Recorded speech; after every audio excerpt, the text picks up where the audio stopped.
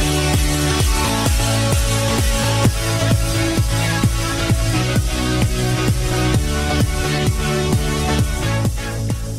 Welcome to the Commercial Real Estate Show. Thanks for joining us to lead, learn, and laugh. Learn market knowledge and best practices to lead your company's success. And laugh, I believe we have to have some fun along the way, right? Well, hello, I'm Michael Bull, your host to the world of commercial real estate. If you have any questions or comments related to today's show or about any commercial real estate related endeavors, you're invited to contact us, like, tweet, circle, email, however you want to reach us. All our contact information is available at commercialrealestateshow.com time. Today, our show is called Tax Credits. We're going to give you some cash. We're going to talk about tax credits and other tax incentives. And you know, tax credits are like cash. I mean, they're a they're a dollar for dollar credit against tax liability. And tax credits are, are one of the strongest tools at the disposal of federal and state governments to uh, promote economic development and uh, you know that's so important to attract and retain business to our areas. But they're not advertised. So we're going to share some of the tax credits and other tax incentives you may be able to use in your business and in your commercial real estate related endeavors. Let's meet our show guests. First, please welcome Ricky Novack. He is managing partner of a strategic group of companies. They focus on investment banking services, often focusing on tax strategies that are green, sustainable, and socially responsible. And that's very nice of you, Ricky. Well, I try. Thank you. And welcome to the show. Thanks, Michael. Also, please welcome David McMillan, President McMillan and Associates. McMillan and Associates specializes in state and federal tax credits for companies across the U.S. Since 72, they've been working with tax credits, grants, and business incentives for various industries. David, thanks for joining us today. Absolutely. Thanks, Michael. Well, I appreciate you guys being with us today. I mean, it's, it's, it's a special time. We're getting close to the end of the year, right? People start thinking about taxes for for their business and their real estate in, endeavors, and and why is it a little more important now, uh, Ricky, than it has been in the past? Well, as many people know, there's been a significant change in, in the tax world that we live in. Uh, we had an increase in tax rates this uh, this past January. Uh, so not only at the uh, at the individual tax bracket level, uh, the rates went up, with the highest bracket now being 39.6 percent. So we've had a significant increase in the individual tax rate. We've also had an increase in capital gains taxes. Uh, so as you know, in the highest tax bracket, we've gone from a 15 percent effective tax rate to a 20 percent rate for long-term capital gains. In addition to those two changes, we also now have what has been affectionately referred to as the Obamacare tax, and that's been the uh, tax on investment income, which is an additional 3.8%. So when you start looking at all of these increases in the tax rate, uh, your taxpayer, whether it's someone that, that owns real estate and simply receives in, income from it, or it's a, a, taxpayer looking to sell an asset, uh, there's been a significant increase in tax liability. Uh, hence, we've seen over the course of this year a dramatic increase in the number of 1031 exchanges people have been performing because they're trying to avoid this increased tax liability. And we've also seen a dramatic increase in an interest level from real estate owners, operators, and developers uh, when it comes to understanding federal and state based tax incentives such as tax credits. Okay. And David, it's important for businesses as well. oh, it? absolutely. It's a pain point. I just paid my tax bill. I was mad. My wife realized, wow, that's a lot of money we just dropped. So it's it's a big pain point for companies, but they also don't know what's out there. Tax credits are really a gold mine for businesses, but they're just not told about them. But we hear about them every day. That's the if you're here in Atlanta, you see movies being filmed here on the street all the time tax credits. You know, if you're in Athens, we just started. Georgia just had their first game, although it was a loss. Um, Caterpillar is spending a billion dollars to build a plant in Athens just because of tax credits there. So it's a big pain point for businesses, but pe- people also see tax credits in the market and they're wondering, how do I get that money? Right. And we're filming here in Atlanta in Studio One, and uh, and of course we're all over the country, and and and there's tax credits available in the film industry in the state of Georgia, some other states. Tell us about tax credits related to the film industry. Ricky, well, I know that's what you do. So sure, absolutely. Um, you know, there's been a, a tremendous push uh, within Hollywood, uh, certainly to, to build relationships uh, with various jurisdictions that are willing to give tax incentives to, to gain that business. And so what you'll find is is Hollywood goes anywhere where people will offer them money. Uh, and so uh, and, and, and, I think and everybody does that too. That's a very- but but but what'll happen is you know they're not married to filming in any any one area, and so as long as um, you know if you have a choice between filming in you know say Kentucky or North Carolina or Georgia, you know if the topography is fairly similar for what you're trying to capture, you're going to go somewhere where they're going to give you the best incentive, and and uh, we're fortunate uh, as you mentioned being here in, in, in Atlanta today uh, for this conversation that you know Georgia's been a great uh, magnet for that, and so in certain jurisdictions, uh, you know Georgia, North Carolina, Louisiana, Michigan, there have been some tremendous programs put in place where a certain percentage of what gets spent in that state by the studio will give rise to a tax credit. Um, so you may have Warner Brothers that will come and, and film Fast and Furious 7 here in Atlanta, and they get a 30% tax credit for doing it. Uh, the interesting thing is Warner Brothers has no income tax liability in Georgia. They maybe owe the state $4,000. So they get this $4 million tax credit. They have no use for it. So the state of Georgia will allow those credits to be sold. So you not only have the economic incentive of bringing all of those dollars to the state, but now you have a credit that ultimately can get sold back to business owners um, or to individual taxpayers, including people that own real estate uh, here in the state of Georgia to offset their Georgia income tax liability. Georgia's one example of many states. Um, again, probably Louisiana is the other state that's most widely recognized for these types of credits. How about federal taxes? You know, there, there are some opportunities at the federal level to piggyback off of some programs to receive federal benefits, but it's been the state credits that really have gotten uh, the most attention because, again, as you mentioned, a credit is a dollar for dollar benefit, uh, which makes it more attractive than a deduction. I mean, for those out there uh, who, who hate tax, and, and that probably represents 99.999% of the people that are listening, you know, the difference between a tax credit and a deduction, a credit is a dollar for dollar benefit, so you receive a $1 credit that can be used to offset $1 of income directly. The deduction programs are a little different. You receive a deduction, a, a $1 deduction. Well, that is worth to you whatever your effective tax rate is. So if you pay a 40% effective tax rate, that $1 of deduction is worth about 40 cents to you because you would be paying 40 cents of tax on that same dollar of income. And what's great for business owners is that most of these credits actually flow through to the owners of the company. So if you're an S corp, LLC, you actually get to take these tax credits personally. So for folks that we've worked with and business owners, I'm not just saving their company money, I'm actually putting money into their personal pocket, Okay. which is great. And let's talk about potential savings. So let's say I had a company with a, a million dollar tax liability. How might I use tax buying tax credits? How might I use that, and what might my savings be?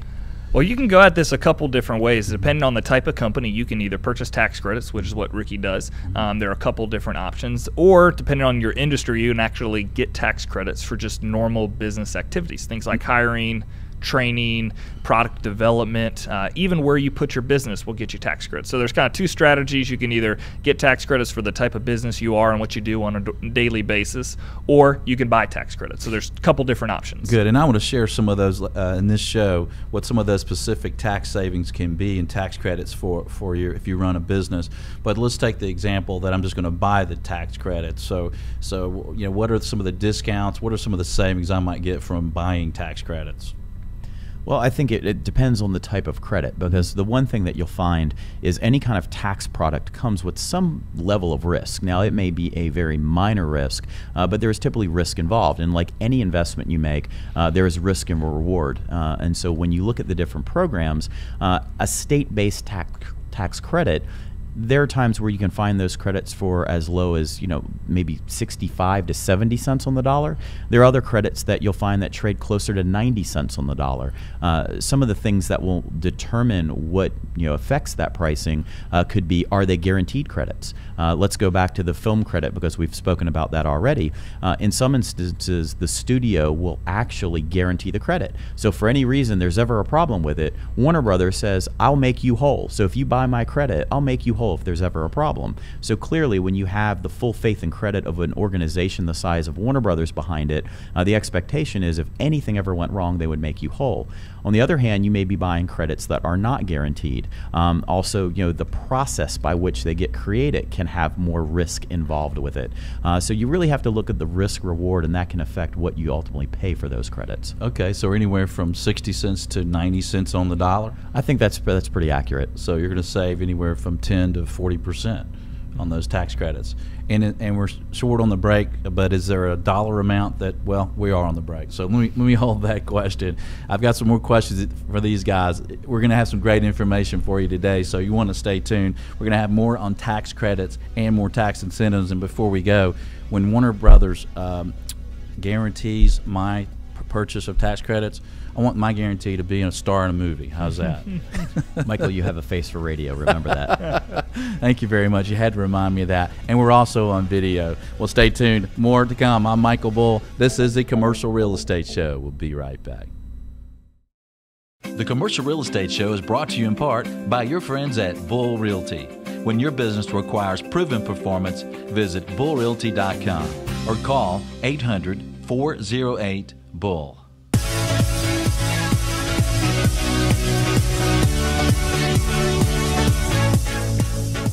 Welcome back. I'm Michael Bull, and this is the Commercial Real Estate Show. If you'd like to know the absolute latest on any commercial real estate related topics, check out our on demand show podcast. Some available topics include social media for business, loan workout strategies, zoning for dollars, and here's one of my favorites. Oops, I should have covered that in the lease. okay. And uh, lease first purchase announce at this point in the cycle. Basically, if I think it's interesting, we've covered it. You can access the shows anytime on your smartphone, tablet, or computer. Just visit iTunes or the show website, commercialrealestateshow.com. Well, today we're talking tax credits and tax incentives at a very good time to be doing so. We're talking with Ricky Novack and David McMillan. And guys, before the break, we talked about buying tax credits. At what area, what price range of the of your tax liability should a taxpayer consider buying tax credits? I mean, if you only owe fifty thousand dollars, or you know, should you owe five hundred thousand dollars before, or one hundred and fifty thousand before you start considering buying tax credits?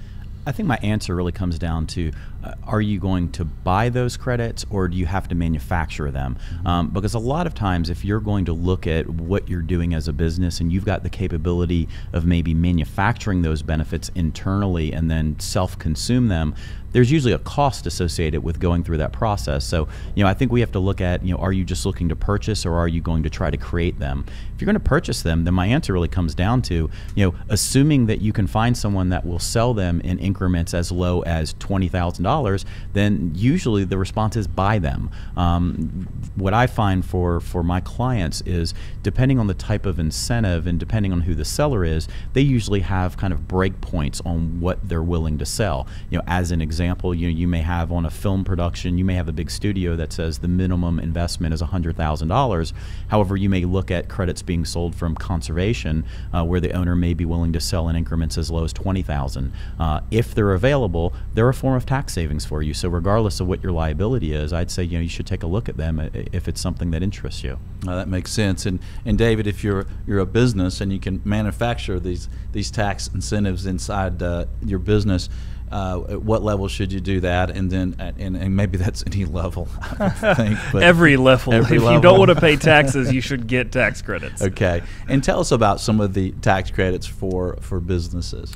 Yeah, it really just depends on what industry you're in, and then what are your normal things that you do every day as a business. Mm-hmm. Example: here in Georgia, if you learn software technology, you get a tax credit of up to twelve hundred and fifty dollars for doing that. Um, if you're a manufacturer and you're developing new products or buying equipment, there's a tax credit for for doing that.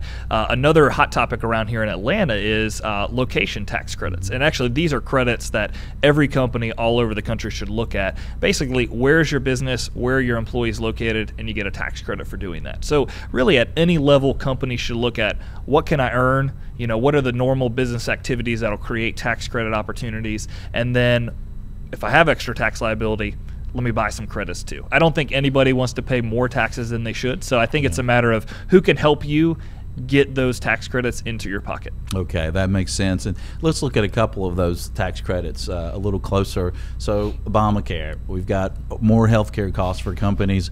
Are there some tax incentives there? There are there is one tax incentive uh, called the healthcare tax credit. Now I've heard a lot of business owners mention this that yeah there's a great incentive for me healthcare costs are going up. But the reality is this is not going to be surprising to anybody that's dealt with the government before. Most businesses actually don't qualify for this tax credit. You have to be less than 25 employees and your average salary has to be less than $50000 so if you're in a metro area this is usually pretty hard just based on average income and average salary. So there is an incentive um, but most of the time it's going to be for small businesses you know 10 15 employees um, maybe outside of the metro area. So while there is an incentive it's not very good but that's the government for you Okay. And how about hiring incentives of creating new jobs? There's lots of those incentives on the federal level. Uh, in January, Ricky mentioned this with the new tax bill. They actually also extended a hiring tax credit where if you're hiring veterans, you can get up to $9,600 for doing that. If you're hiring people in government assistance programs, you get a tax credit for doing that. And then on the local level, most states usually have a job growth plan or a job growth tax incentive for creating new jobs. And Georgia has seven different types of job creation tax credits. But every state has these. So if you're creating new jobs, you want to look at okay, there's usually an incentive here for me, no matter where I am. Okay. And what are some of the options for uh, people running businesses to, to learn more about these? I mean, uh, you're a consultant. You help companies, uh, and I guess there's they could reach out to you, reach out to people like you around the country, and there are also there's some uh, websites and things you could recommend for to learn more. Yeah, if you're a business in Georgia, Georgia.org is a great and great site to learn about all the different options that Georgia has. However, and Ricky knows this, um, getting the tax credits and doing all the paperwork is really what makes the difference. I had a client out in California that I went and visited a couple weeks ago, and I literally took from Atlanta to California 10 inches worth of paperwork for one program. So you can go to georgia.org. Um, if you visit your state's um, Department of Revenue or Taxation website, you'll find a list of those credits, and then with the federal government, good luck. yeah, I think David makes a good point. You know, in some instances, whether it's a state or federal benefit, in some instances, the paperwork and the process is fairly limited and easy to follow, but that is typically not the case. What you find is uh, while the incentive has been created, whoever created it makes it overly cumbersome to be able to access that benefit. And that's why ultimately it's important that taxpayers work with experts to make sure they get mm-hmm. the process right. For certain incentive programs, you get one shot, and if you apply and you get it wrong, then you're out of luck. And so it's mm-hmm. very important to get it right the first time. Right. Right, good points. Well, let's talk about energy tax credits. Uh, what's available out there? Going to put a solar panel on my roof and get a tax credit?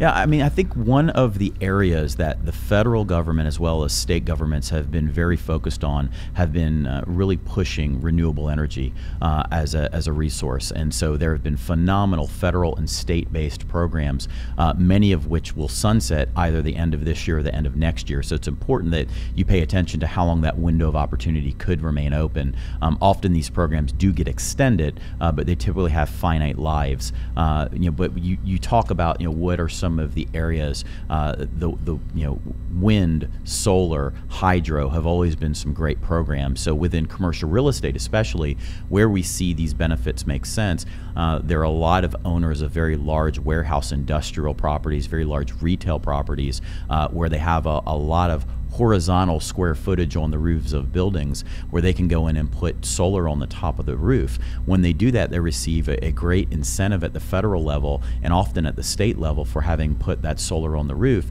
And at the same time, they've created a benefit for their tenant because by using solar, they're typically driving down the CAM charges. Uh, so there's a great way uh, for, for real estate owners to access those benefits, but it trickles all the way down to individuals. You put solar on your roof, you're entitled to a credit. So so it's important to look at you know both the business side again and the personal side, what may be out there. And then finally, there are some smaller programs where if you upgrade you know the types of windows that you have on your building, if you add you know better hot water heaters or more efficient toilets and things of that nature, you also will will um, qualify for those credits. Okay, so if, if I'm laying out in the sun and I put those aluminum foil things around my face to reflect the sun, does that get a tax credit for that? uh, unfortunately, no, Michael. But uh, you know we can work on that for you. You. Dave and I will uh, go and lobby the government for that. Okay. All right. Well, there are a lot more tax incentives and tax credits available for you, and we're going to get in more into that in the next segment. I'm Michael Bull. This is the Commercial Real Estate Show. We'll be right back.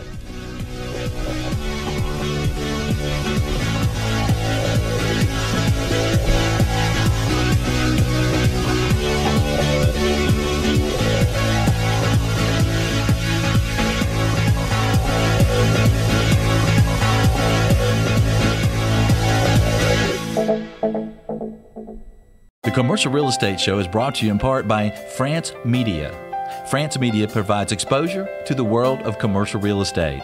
Visit francemediainc.com or call 404 832 8262.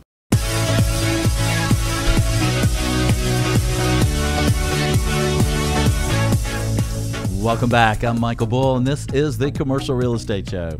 You may be listening to the show anywhere from Atlanta to Dallas today. The show's been broadcast around the world for close to three years on iTunes and multiple websites, and it's aired on 12 stations across the country. We'd like to say hello to our listeners in Houston on Business 1110 KTEK. Today, our show is called Tax Credits. We're talking with Ricky Novack and David McMillan both tax experts related to business and real estate. And, and gentlemen, conservation easements have been something that uh, a lot of landowners have, have turned to today. Tell us what, uh, uh what, what is a conservation easement and how might someone use that? It's a great question, Michael. Um, conservation easements, uh, essentially what happens is the, the federal government allows you to conserve land in perpetuity, which means forever. Uh, and in return for doing that, you receive tax benefits, and those tax benefits are at the federal level a tax deduction. Uh, so when you look at conservation, uh, you know you can use it in many different instances. Uh, whether you happen to have a, a thousand acre family ranch out in Montana and you decide to conserve the property, what you're doing is you're simply giving away the right to develop that property later on. So you're going to preserve it in the state that it is forever. Uh, a little bit closer to home in the, the commercial real estate world, you know, if you're planning a very large mixed use development, uh, typically there's a certain amount of green space that your municipality is going to require of you.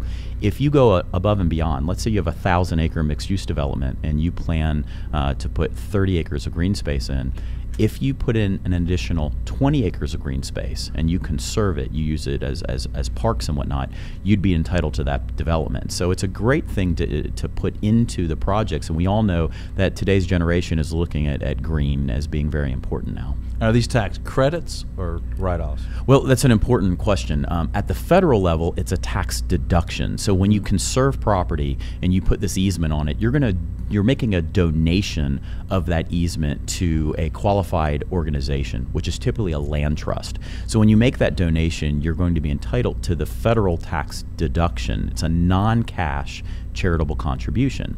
But then at the state level, certain states, and, and as examples, uh, Virginia, Georgia, uh, South Carolina. There are some states, Colorado, that offer a fairly lucrative state tax credit in addition to that deduction benefit. So it's very state by state specific. Okay, so I could still use the land for recreational purposes. So if I wanted to uh, hunt deer or I wanted to walk on it and then look at birds, Right. absolutely. If you, you decide that you want to continue to use it passively, um, that of course is going to be negotiated in the conservation agreement. So when you make the donation to the land trust, the agreement will set forth forever and ever what you can and cannot do on that property. So if you want the right to hunt, uh, if you want the right to fish on the property, if you want to ride four wheelers, horses, as long as it's passive recreational use, it's usually not a problem. What sometimes landowners will do though is, you know, let's go back to the example of let's say that, that our, our owner has a thousand acres in Montana, they may decide that eventually they may want to build a couple of additional houses beyond the, the one family compound site that currently exists. So what they'll do is they'll, they'll maybe identify two or three home sites uh, that they don't want to conserve, and they'll just make sure that the easement language states that that part of the property is being held out of the easement. So uh, it's very important with conservation that you, you understand that what you do today is going to be in place forever, and so you've got you've got one shot to get it right. Okay. And the amount of the conservation easement, is it determined by the difference in the value of the property if you were going to develop it and now the reduced value of the property because you can't develop it? Is, is that the matrix? Right. So, so what you look at is you, you have a conservation certified appraiser that comes in to value the property, and he's going to determine what is it worth before the easement is put in place and what will it be worth after the easement's in place. Mm-hmm. So the difference between the two is what generates that non-cash charitable contribution. Um, you know, so so those benefits can be substantial. At the federal level, a taxpayer can offset 50% of their adjusted gross income in 2013 from conservation tax benefits. Um, corporations can offset 10% of their federal taxable income. So it's a very, very powerful financial tool. Um, and you know you can either conserve your own property that you own and generate these benefits for self-consumption, or you can look for other landowners that intend to engage in these conservation activities, become a partner in the partnership that owns the land before it gets conserved. Um, so there, there's ways to access it uh, even if you don't own property that you want to conserve yourself. Yeah, and that's interesting at this day and time when there's some outlying uh, land that uh, you know maybe has less value. But uh, so it's something certainly to look into. Well, more on tax credits and tax incentives. I'm Michael Bull. This is the Commercial Real Estate Show. We'll be right back. The Commercial Real Estate Show is brought to you in part by your friends at Bull Realty. When your business requires proven performance, visit bullrealty.com or call 800 408 Bull.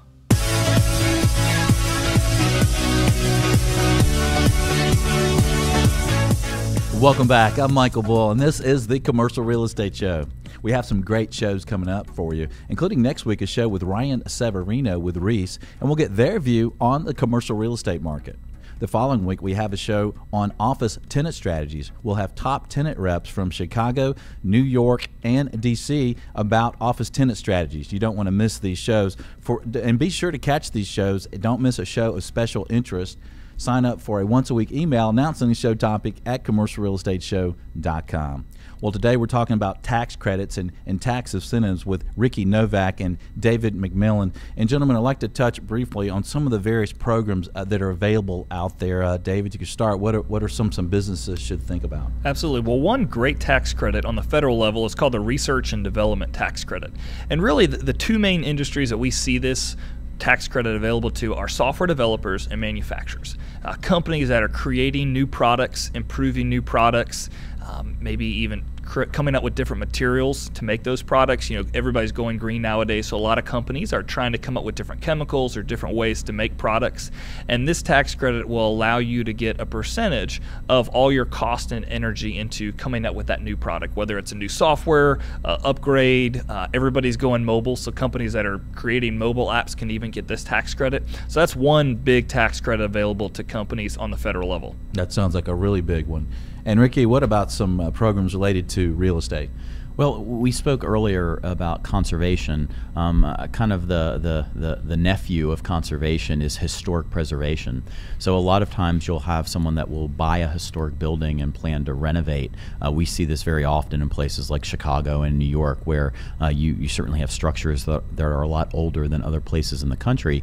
Uh, if you uh, basically put a facade easement on a property, which would be you preserve uh, the face of the building and agree that you won't change it, you can qualify for federal and state tax incentives. Uh, historic preservation also, which gets into the guts of the building, and uh, you know in different parts of the country, uh, you have very strong tax incentives. We have a client that not too long ago uh, worked on a historic preservation project in Utah, uh, where literally you know they turned a very historic building into kind of a, a multi um, a multiple apartment complex uh, where they literally had to number all the tiles around the fireplace and put them back in the same position they were in mm-hmm. before they took them apart. But in doing that, they were granted some phenomenal phenomenal incentives by the state to preserve the historical integrity of that building. So really interesting. That's interesting, and, and you have to do be very careful with that, right? You have to plan that in advance and know that you're doing that before you start any type of, of demo and move forward with that, right? Absolutely. As, as I said earlier when we talked about conservation,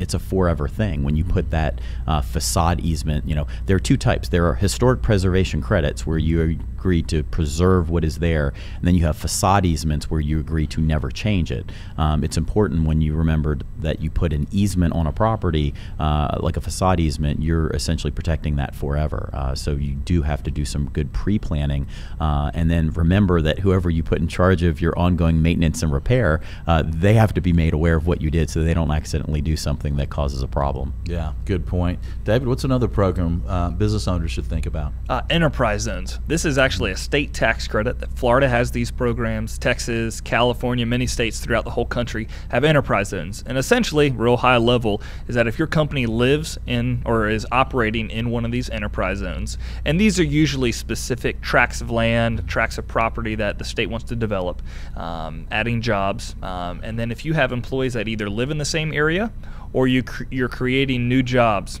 in this certain enterprise zone, you can get a tax credit of several thousand dollars for each job. Give you an example, uh, we've got many clients in California, and if you're in an enterprise zone in California, um, each new hire could bring up to thirty-seven thousand dollars over a five-year period just for hiring somebody. So enterprise zones are a really great tax credit that if you're thinking about, especially if you're thinking about relocating your business or expanding and moving your operation, it's great to get connected with an expert on tax credits and these location credits and, and probably your real real estate broker advisor too to figure out what area can I put my business in that'll generate these type of enterprise location tax credits. Yeah, that's a good point. And and if you're a broker or an owner and you're marketing a property in an enterprise zone, you want to know about that and make sure you're making that a part Absolutely. of the marketing. And Ricky, there's some other uh, tax programs related to real estate, right? Sure. Uh, probably one of the programs that has been most widely recognized and used uh, has been the low income housing tax credit.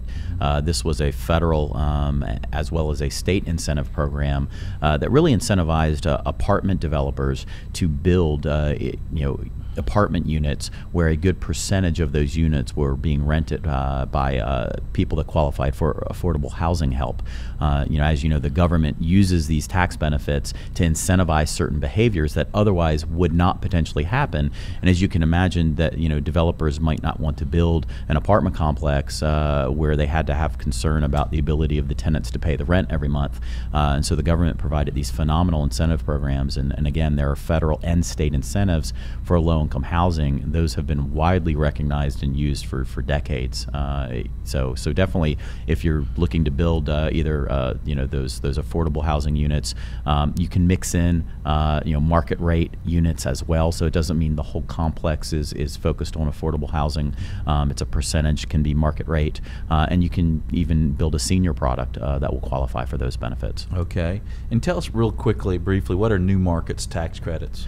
So uh, again, at the federal level, the the federal government looked at certain areas that were blighted uh, and that were uh, sorely needing of, a, of an overhaul. Um, and most of the time, a developer isn't going to go and buy land in those types of areas to build because there's a reason that, that they've been blighted. You know, there have been um, either economic downturns or there have been a flight of industry out of the area, or maybe the area has had some crime problems. And so the federal government created these new market tax credit programs uh, where uh, you could apply for them on an annual basis and if you uh, actually received an allocation, you receive tax incentives at the federal level in return for going and redeveloping these blighted areas. Okay, well, after a short break, we're going to tell you how to plan and how to get these rolling. I'm Michael Bull. This is the Commercial Real Estate Show. We'll be right back.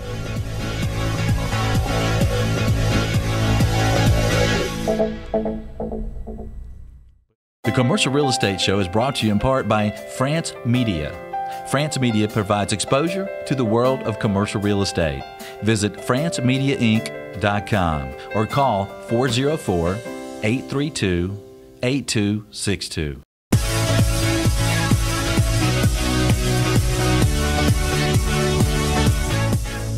Welcome back. I'm Michael Bull, and this is the Commercial Real Estate Show. In case you're listening to the show on the radio or iTunes or the show website, be sure to check out our YouTube channel. Just go to YouTube and uh, search for Commercial Real Estate Show. We have three sections there one on available properties, one on market updates, and one on commercial real estate intel. You don't want to miss the videos there.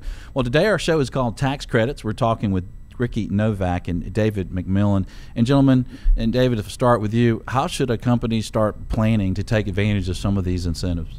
I think there, there's two main things. One is to look at what tax credits are, are available to you. I think that's the biggest thing is what can I get as a business? If I'm a manufacturer, I should be getting tax credits for hiring people or buying equipment or training.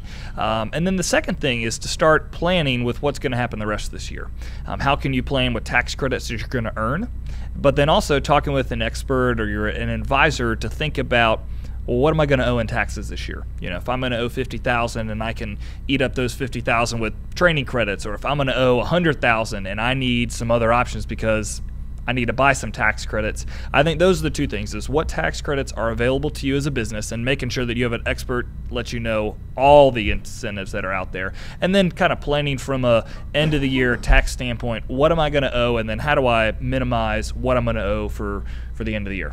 Yeah, that makes good sense. Instead of complaining at the end of the year of what you owe, start thinking about it now. As as hard as that might be to want to think about and start planning now, a lot of companies are, are doing better than they have in, in the past. Absolutely. you want to do a little bit more planning. Well, Ricky, what about in uh, real estate? Well, again, you know, I, I, have to echo what David said. You know, what do you own that you can actually manufacture your own benefits from? Mm-hmm. Uh, there's a process there. It takes time. So it's not something you can typically decide to do come December because usually you've missed the opportunity because the manufacturing process, so to speak, um, it, it, typically involves other outside third party professionals um, and it takes, you know, typically, you know, 60, 90, even 120 days to go through those processes depending on the type of benefit. So I do think you have to get your arms around, you know, what do you own that you can, can manufacture this year and where should you start looking for just straight, you know, purchase opportunities opportunities where you can buy uh, tax credits that someone else has manufactured but doesn't really need. Um, so, so definitely start those processes. Uh, the other thing to think about is, you know, we've we're obviously here on a commercial real estate program. Um, it's important to remember that if you have no income from real estate and you don't own any real estate and you randomly came across the station and you said, Michael Bull's voice is awesome. I'm just going to listen. Um, then you can access these credits as well. So that's the great thing is if you have significant income, no matter how you're making it, where it's coming from, you can access these benefits. Mm-hmm. Yeah, and you can buy those a lot faster than you can manufacture them, right? Absolutely.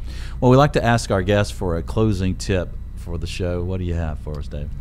I'd say talk to an expert, figure out what's out there. Mm-hmm. That's the biggest thing is most companies have no clue about all the different opportunities that are out there. And it's really simple. Mm-hmm. Tax credits come from business activities. So go find what's out there and then plan from there. Yeah, that makes sense. You have to be aware, right? Know what know what's there. available to you. Ricky, how about a tip? Um, my tip is involve your tax professional in the process. Mm-hmm. Um, your accountant is the one that has to sign your tax return. Uh, your accountant is typically a wealth of knowledge about different types of benefits that may make sense for you. Involve your involve your accountant because they're going to help work with you and help advise you along the process. And what we have found is when our clients' tax advisors get involved earlier in the process, it's a much smoother process. It's a much more efficient process. Uh, so I'd recommend involving your accountant. Well, thanks for doing that. I'm speaking to a national group of CPAs next month, and they'll be glad to hear Fun that. Well, gentlemen, thanks for joining us today. Michael, thanks for having yeah, thank me. Thank you very much, Michael. And uh, I have a question for you as a listener. Can you join us next week? Well, I hope so. We'll have uh, Ryan Severino on the show. He's senior economist with Reis. He'll join us in Studio One here and share his take and their market predictions on the commercial real estate market. So you don't want to miss that. That show will also be on YouTube and the Commercial Real Estate Show and all the radio stations. So thanks for joining us today. I'm Michael Bull. Until next week, be sure that you always lead, learn, and laugh, and join us for the Commercial Real Estate Show.